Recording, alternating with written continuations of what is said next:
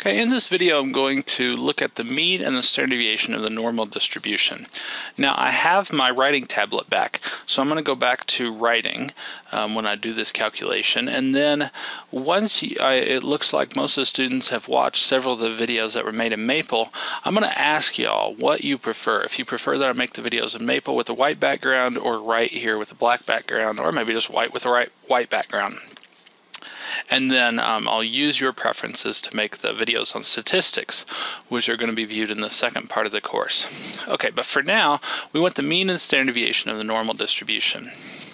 Now, I've defined the normal distribution by its PDF, that a random variable capital X is normally distributed if its PDF is 1 over the square root of 2 pi, that's an ugly pi there, times sigma, uh, times e to the negative x minus mu squared over 2 sigma squared.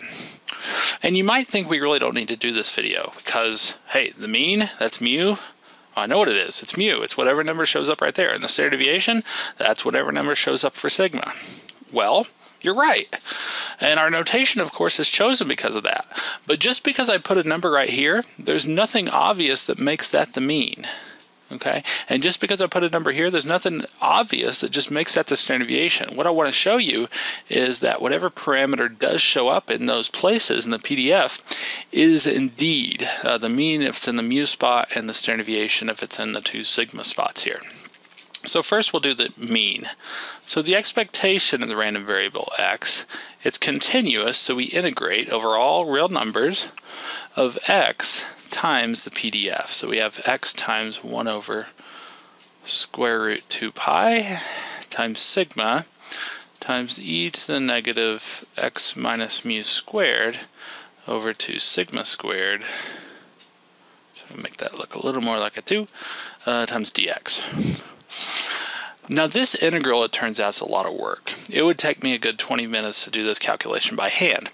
Um, but instead, we are fortunate enough to have Wolfram Alpha, and I want to integrate, let's see, that was x divided by the square root of 2 pi uh, sigma I'm going to represent with s times e to the power of negative x minus mu I'm going to represent by m squared divided by 2 sigma squared. So that's s squared. And I want to integrate that from x equals negative infinity to infinity. Let's press enter here and let Wolfram Alpha go to work for us.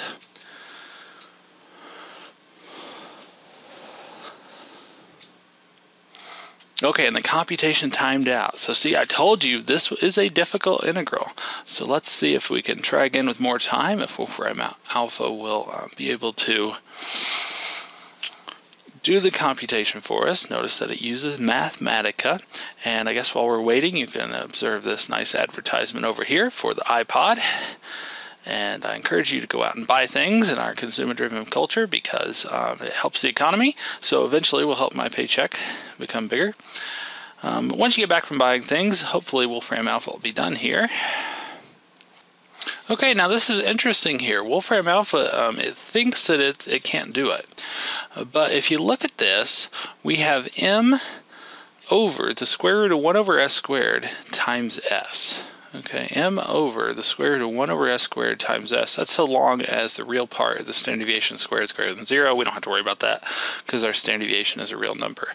Let's put that back in here, and I want to show you that that's just mu. So remember that mu was m replaced by m, and standard deviation was replaced by s. So we ended up with mu over the square root of 1 over sigma squared times sigma.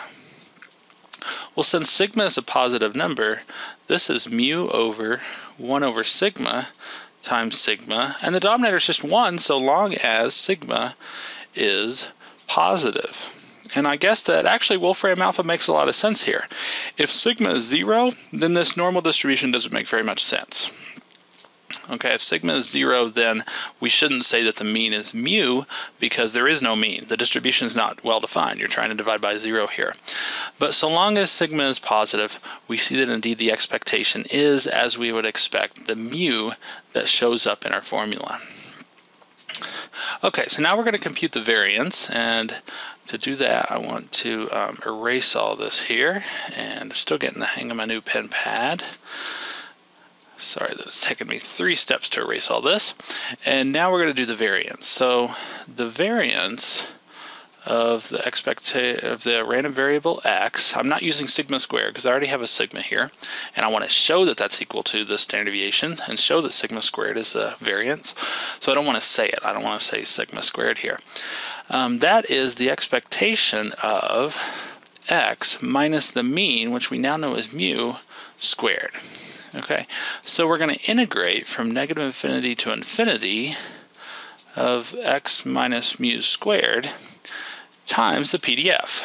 So we'll have 1 over the square root of 2 pi sigma times e to the negative x minus mu squared divided by 2 sigma squared dx.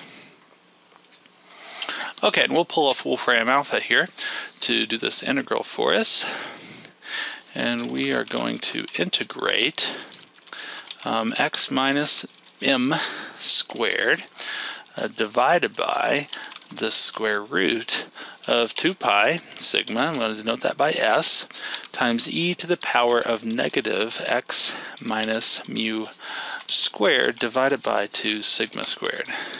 And we're going to integrate that from x equals negative infinity to infinity.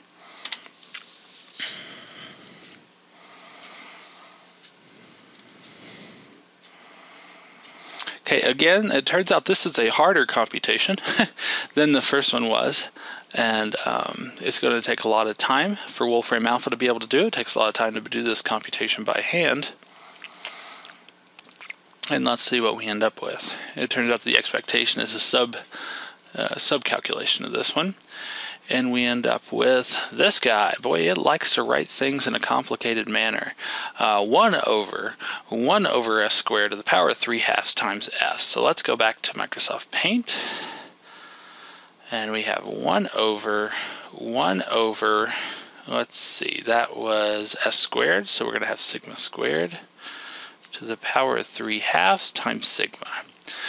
Okay, well, that means I have 1 over if I square this and then raise it to the power of 3 halves, and that means it's cubed. So I have 1 over sigma cubed times sigma. That is 1 over 1 over sigma squared, which sure enough is just sigma squared. So the variance of our normal distribution ends up being sigma squared.